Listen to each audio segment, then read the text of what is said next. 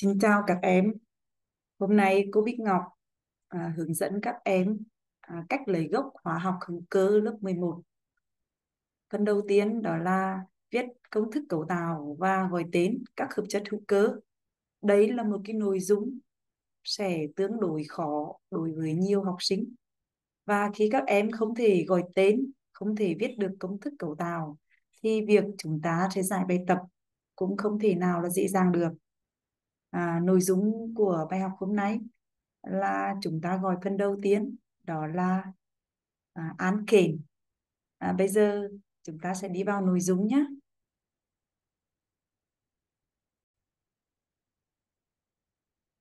Một đó là công thức cấu tạo của alkane à, đầu tiên các em cần nắm công thức tổng quát. Có dạng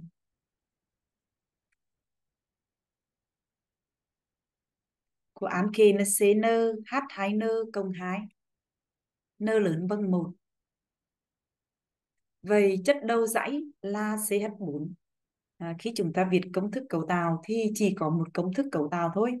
Đồng phấn tiếp theo là có công thức phân tử. N bằng 2 thì ứng với H bằng 6 sẽ là C2H6 à, vậy để viết công thức cấu tạo của một hợp chất cụ thể ở đây là án alkane thì các em sẽ viết như sau. Một là chúng ta sẽ viết à, biết đặc điểm cấu tạo của alkane là chỉ chứa liên kết đơn.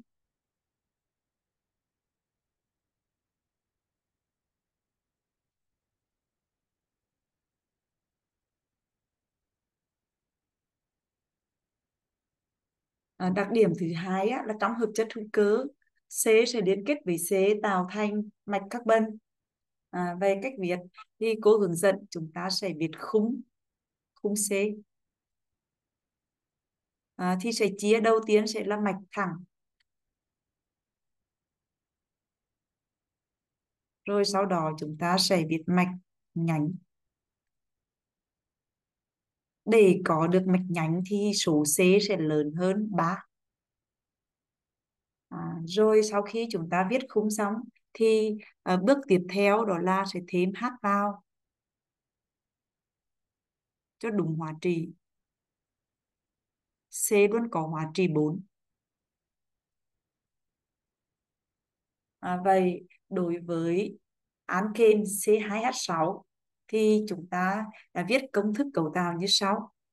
C2H6 thì có 2C chỉ có một cách viết khung mạch thẳng này và C luôn có hóa trị 4 ở trong phân tử này chỉ chứa liên kết đơn. Vì vậy số H còn lại chúng ta sẽ liên kết với C à, lấy 4 và trừ số liên kết xung quanh C thì ra số H. Vậy đây là CH3 và đây là CH3 à, đồng phân thứ hai là đối với à, việc công thức phân tử tiếp của C3H6 H8 thì các em sẽ viết như sau. Đầu tiên các em viết khung C. À, chúng ta viết 1 2 3 đối với 3C chỉ có một cách phân bố đó là mạch thẳng thôi. Và bây giờ điền H lấy tổng 4 mà trừ đi tổng số liên kết xung quanh C. Vậy C ở đây liên kết 1 thì còn lại là 3H 4 trừ đi hai liên kết hai bên thì 2H và đấy là còn lại 3H và các em tính tổng H kiểu gì nó cũng đúng. Bởi vì trong phân tử của alkene chỉ chứa liên kết đơn. Các em không thể về liên kết đôi, liên kết ba được. Tiếp theo ứng với C4 thì tổng số H các em thay vào sẽ là H10 à, chúng ta sẽ viết à, viết khung C thì viết khung C mạch thẳng.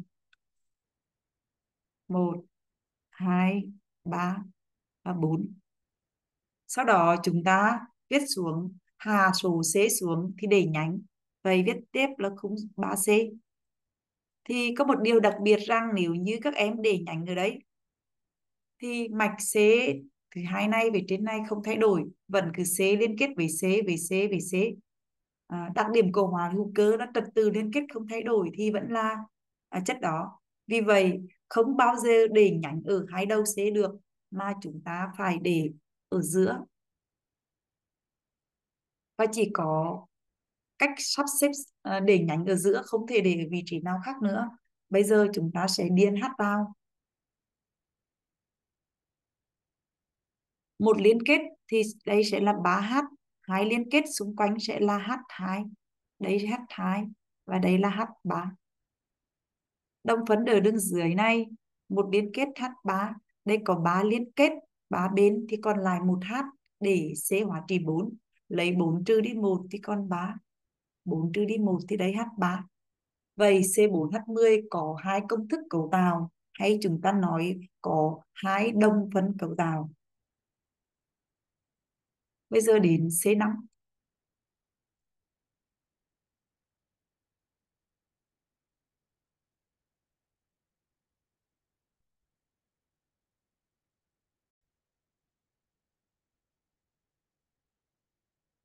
C5 thì H sẽ là 12. Vậy các em sẽ viết như sau. Đầu tiên các em sẽ viết khung 5C. 1, 2, 3, 4, 5. Rồi sau đó hạ khung xuống chúng ta chỉ viết 1, 2, 3, 4. Có nhánh và các em lưu ý cho cô rằng chúng ta không thể để nhánh hay đâu. Chúng ta để nhánh ở đấy. Thì khi để nhánh chúng ta sẽ xem tính đối xứng C ở đây với C ở đây nó giống nhau vì vậy nếu như các em có di chuyển nhánh xanh này sang vị trí C bên cạnh đấy thì nó cũng giống nhau. À, cụ thể cô viết như thế này các em sẽ thấy trung liên đây. các em để nhánh ở đấy. À, thì rõ ràng à, chất số 3 với chất số 2 là nó giống nhau. Vì vậy khi chúng ta vẽ khung thì dễ dàng nhìn thấy được chất nào sẽ giống chất nào về mạch khung carbon thì chắc chắn đó là một chất thôi bây giờ chúng ta không thể di chuyển nhánh được thì chúng ta sẽ viết mạch 3C à, còn lại 2C nữa không? À, chúng ta sẽ chia ra để hai nhánh. Và bây giờ các em sẽ điền hát vào. Lấy 4 trừ số liên kết xung quanh H thì còn lại số C CH3 4 trừ đi 2 thì sẽ là H2 Đấy, uống H2 H2 và đây CH3 và tương tự như vậy chúng ta sẽ điền. Đây 3 liên kết thì còn lại H H3 H2 và H3 ở đây H3 con C ở giữa không còn C này không còn uh, à, H nữa bởi vì xung quanh nó có bốn liên kết rồi. Vậy C5H12 các em sẽ viết được bốn công thức cấu tạo hay chúng ta nói là có bốn đồng phân. À, và nếu như mở rộng tiếp chúng ta viết chất C 6 H 14 cô sẽ hướng dẫn các em. Đầu tiên chúng ta cùng viết khung carbon có 6C 1 2 3 4 5 và 6 sau đó chúng ta hạ xuống. À, 1 2, 3, 4, 5C thì để nhánh. À, các em lưu ý tính đối xứng. C ở đấy sẽ giống ở đấy với tính đối xứng. Vì vậy chúng ta có thể di chuyển sang vị trí này nữa. Do đó mạch 5C này chúng ta có thể viết C, C, C, C, C và chúng ta di chuyển nhánh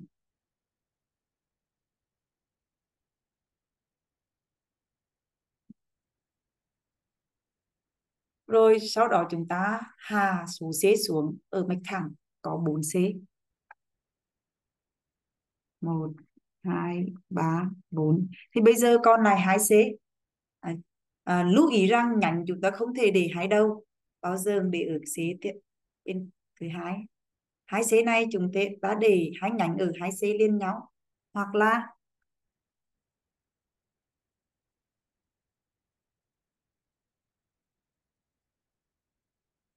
chúng ta có thể để mạch 4C này và 2C này chúng ta để trên một nhánh đến một C.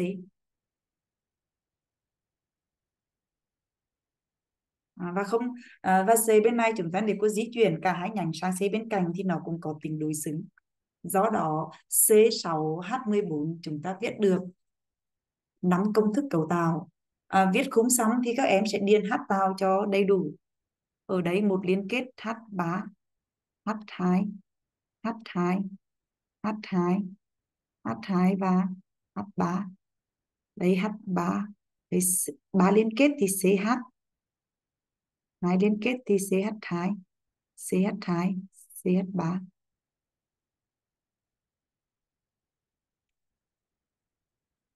CH2 và các em khi đã viết đúng hóa trị rồi thì uh, tính tổng số H bao giờ nó cũng bằng.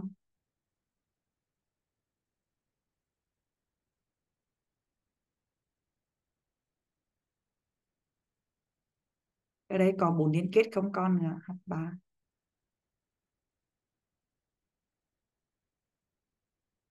vậy C6 H14 sẽ có 5 đồng phân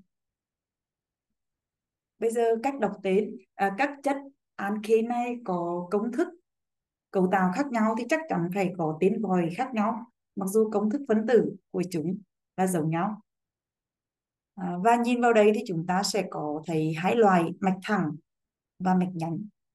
Sau đó cách gọi tên của alkene chúng ta cũng gọi theo tên à, theo alkene mạch thẳng và mạch nhánh. Với cách gọi tên nó như sau.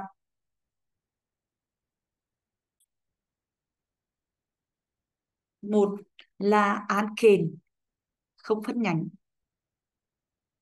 Và cách gọi tên là phân nền, tức là cái phần mà chỉ số lượng nguyên tử carbon và đuôi ene ane vậy phân nền là phân như thế nào? Nếu số nguyên tử c là một thì ta đọc là met c là hai là eth c3 prop c4 là but c5 pent. C6 hex.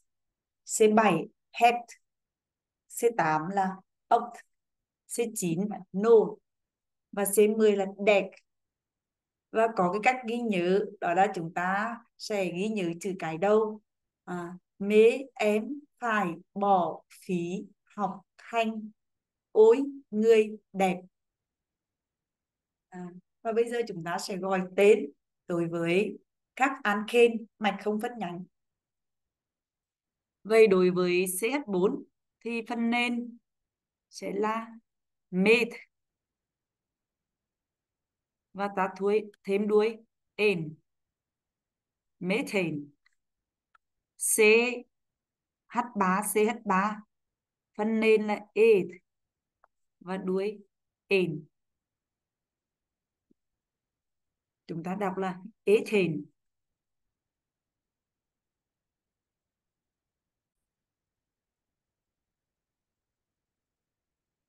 Còn CH3, CH2, CH3 ở đấy mạch chính có 3C. 1C, 2C và 3C. Vì vậy chúng ta đọc proper và đuôi in. Propane. 4C mạch thẳng. Và bây giờ cô viết là CH2 tất cả hai lần này để chỉ mạch carbon thẳng. À, chúng ta đọc tên butane.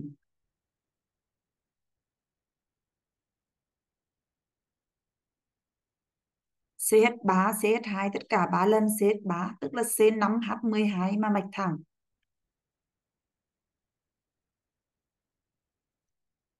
Pentane C6H12 mạch thẳng. Hexane C7 H14 mạch thẳng. Heptane C8 H18 mạch thẳng đọc là octane.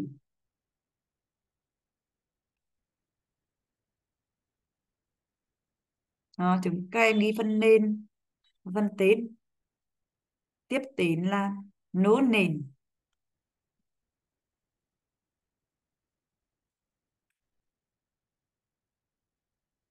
Và cuối cùng là decking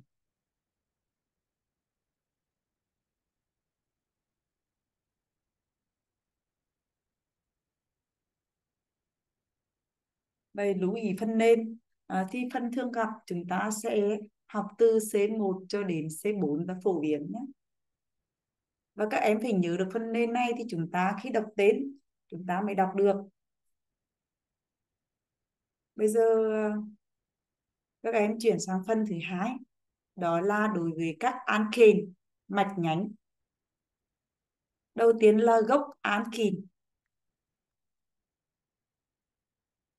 là phần còn lại sau đi lấy đi một nguyên tử hydrogen từ phân tử alkane và công thức chúng của alkane là CnH2n cộng 2 thì alkene sẽ là CnH2n cộng 1 và có cái liên kết này và cách đọc thì chúng ta à, chỉ đổi cái đuôi ền ane bằng đuôi i il ví dụ C2H6 à, CH3 CH4 thì chúng ta đọc là methane. Thì bây giờ gốc là CH3 các em đọc là methyl IL tương tự C2H6 à, chỉ có một công thức cấu tạo. Ethane thì gốc của nó cô sẽ viết gọn lành. CH3 CH2 ethyl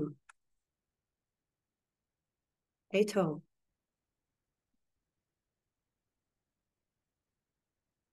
B là cách gọi tên thay thế đó là danh pháp thay thế của alkane mạch phân nhánh chúng ta trải qua các bước.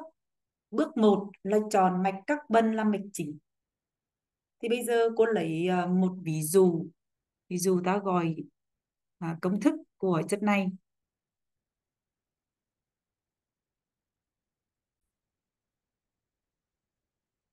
Vậy để gọi khen tên của alkane mạch phân nhánh. Ở ví dụ sau đây thì chúng ta bước một là chọn mạch carbon là mạch chính. Đặc điểm nó phải mạch lạnh dài nhất và có nhiều nhánh nhất. Vậy ở đây mạch carbon chúng ta sẽ có mạch ở đây là chúng ta có 4C mạch tiếp theo đây là 3C vì vậy chúng ta phải chọn mạch à, mạch dài nhất. Vậy mạch dài nhất ở đây là 4C Bước 2 là đánh số thứ tự nguyên tử carbon chúng ta chỉ đánh ở mạch chính thôi nhé. À, vậy ở đây là cô gọi đấy đấy là mạch chính. Vậy chỉ đánh số thứ tự và bắt đầu từ phía gần nhánh nhất. Vậy ở đây là nhánh nhé. Đây là nhánh các bạn này. Do đó chúng ta sẽ đánh số thứ tự từ trái sang 1, 2, 3, 4 à, nhớ chỉ đánh xế ở trên mạch chính còn nhánh chúng ta không đánh. Bước 3 là xác định tên gọi của nhánh và vị trí nhánh. Vậy CH3 tên gọi của nó là methyl hoặc là methyl còn vị trí là vị trí số số 2 sau đó chúng ta sẽ gọi tên theo công thức là vị trí nhánh rồi đến tên nhánh tên mạch chính tên của alkane mạch chính. À, vậy ở đây chúng ta sẽ gọi như sau. Nhánh ở vị trí số 2 tên của nhánh là CH3 là metal giữa số với trừ chúng ta còn nối ngang. Rồi sau đó tên mạch chính mạch chính mà 4C là butyl và đuôi. Ene à, vậy ở đấy à, vị trí nhánh và tên nhánh. Còn tên của án kền mạch chính là boot build và đuôi in hoặc là chúng ta sẽ gọi tên theo ví dụ số 2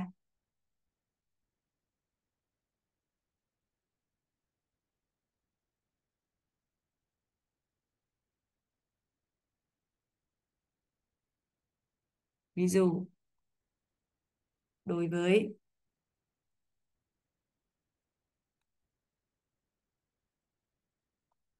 công thức cấu tạo này thì các em sẽ gọi như thế nào Vậy bước 1 chúng ta chọn mạch carbon là mạch chính. Vậy ở đấy cái mạch nào mà chứa số C nhiều nhất à, thì chúng ta dễ dàng xác định mạch ngang này. là 4C bây giờ việc thứ hai là bước hai là các em đánh số thứ tự nguyên tử carbon trên mạch chính nhưng đánh sao cho gần nhanh nhất? À, vậy ở đấy CH3 gần phía bên này chúng ta đánh từ trái sang 1 2 3 4 việc đánh từ trái sang hay phải sang thì nó tùy vào cái vị trí nhánh. Đánh bắt đầu từ phía gần nhánh. Ở đấy nhánh là có hai nhánh nhánh CH3 này. Đều ở vị trí là vị trí số 2 à, vậy thì đối với trường hợp có nhiều nhánh giống nhau chúng ta dùng đài tức là hai trải là ba và tetra là bốn để chỉ số lượng nhóm giống nhau. Vậy ở đây có hai nhóm giống nhau chúng ta dùng đài à, vậy vị trí nhánh là vị trí số 2 đây các em phẩy hai. Có hai nhóm giống nhau chúng ta dùng tiên tố đài. Và tên của nhánh là phần CH3 đọc là metal tên mạch chính 4C chúng ta đọc bùi butane. À, vậy ở đây có tiên tố đi đài. Là chỉ hai nhánh giống nhau. Hoặc ví dụ chúng ta sẽ gọi tên chất sau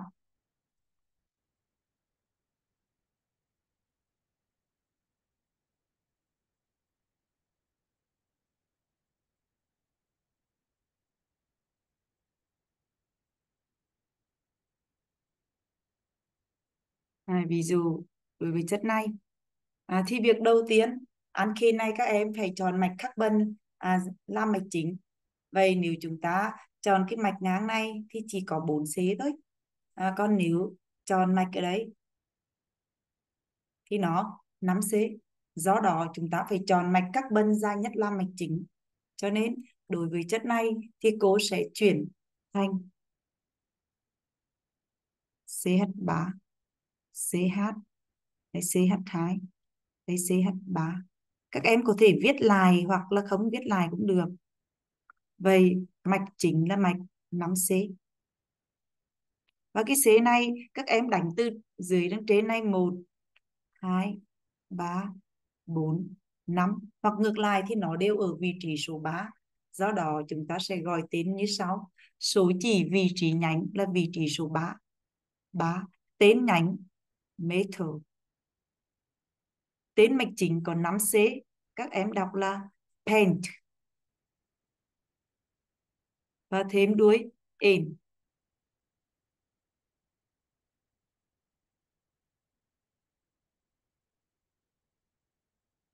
Vậy lưu ý chúng ta phải chọn mạch carbon ra nhất lắm mạch chính. À, ngoài ra, đối với alkane còn có một số chất có tên gọi thông thường như sau.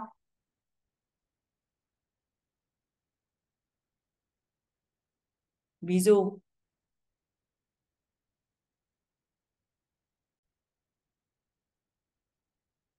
ví dụ chất A này.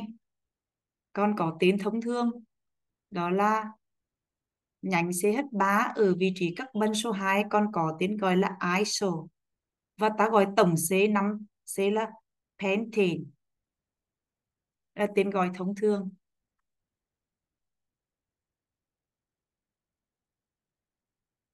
Và có hai nhánh CH3 ở vị trí carbon số 2 này à, còn gọi là neo. Tổng số C là hexane đó tên gọi thông thường của một số alkene và bây giờ chúng ta sẽ quay lại gọi tên của những chất mà chúng ta à, đã viết ở trên này.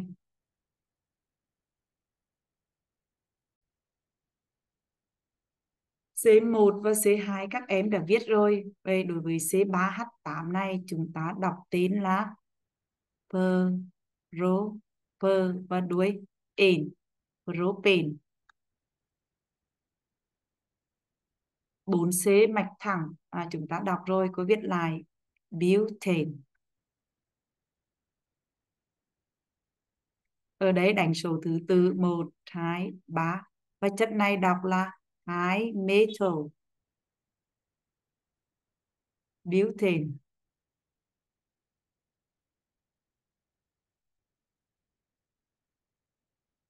Còn có tên gọi thông thường, ngành CH3 ở vị trí carbon số 2 đọc là iso tổng số C là butane.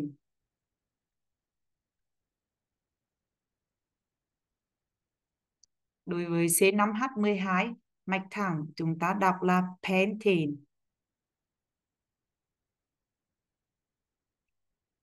À, chất này chúng ta đánh số thứ tự 1 2 3 4 và đọc là hai metal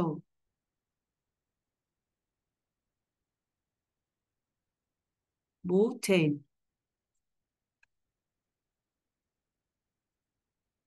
À, đây một hai ba. Hai nhánh giống nhau. Hai hai. Đai metal ba c propane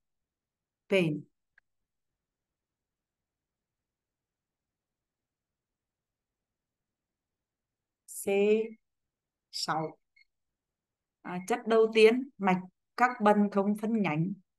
Hexane. Chất thứ hai, đánh số thứ tư. Bắt đầu từ phía gần. 1 2 3 4 5 vậy nhánh ở vị trí số 2 các em đọc là 2 metal pen. Tên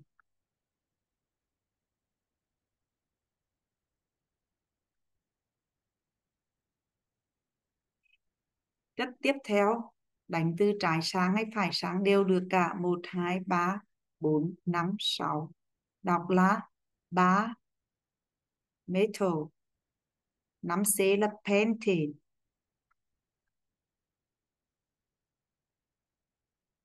đây 1, 2, 3, 4 các em đọc. 2, 3 die, metal 4C, mạch chính 4C là butane.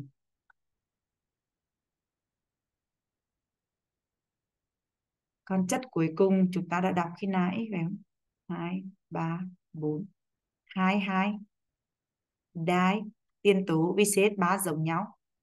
Metal. Butane. Vậy cô đã hướng dẫn các em À, cách viết đồng phấn và gọi tên của Ankin. Hẹn gặp lại các em ở trong à, video phân cách viết đồng phấn và gọi tên của Ankin. Tạm biệt các em. Chúc các em lê hóa để gốc thành công nhé.